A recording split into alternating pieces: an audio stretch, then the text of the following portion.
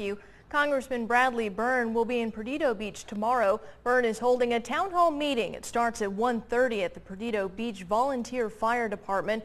Byrne has been holding a series of town hall meetings where he updates people on what he's working on in Washington and opens the floor up to questions.